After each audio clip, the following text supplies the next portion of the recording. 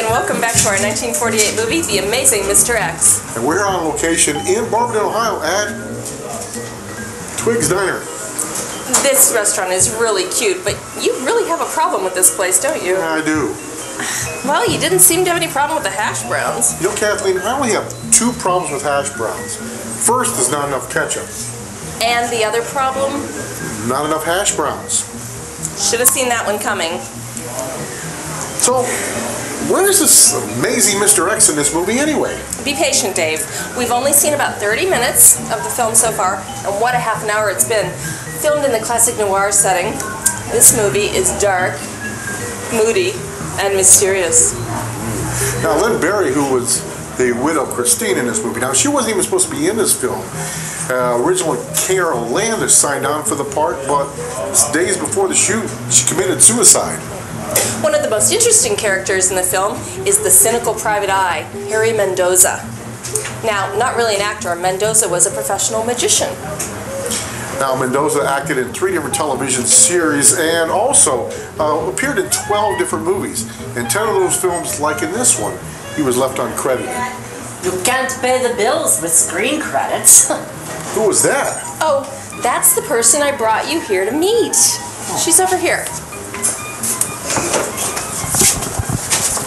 I want you to meet Kitty Spooky Cat. Charmed, I'm sure. At least I think I'm sure. Dave, a Spooky Cat is a sensitive, A sensitive. A spiritualist. What? a medium. A medium. Well, What do you think? Really? A medium? Yes?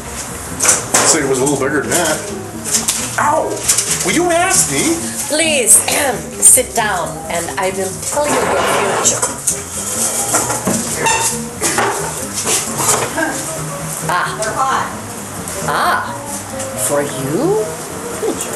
I see fame, fortune, and television stardom. Did you hear that, Kathleen? I heard it, but I don't believe it.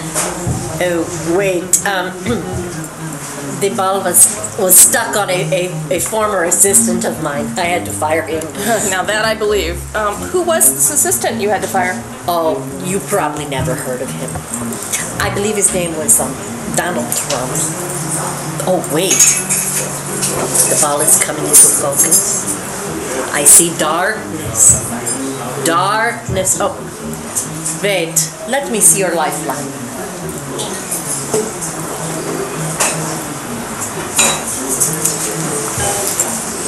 Here, use this Oh, what's this for?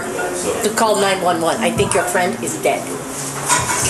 We better take a break, catch a sketch, and then get back to our movie, The Amazing Mr. X. And I'll straighten this out. Maybe you should just save time and call the funeral home. I'm not dead! We'll be right back.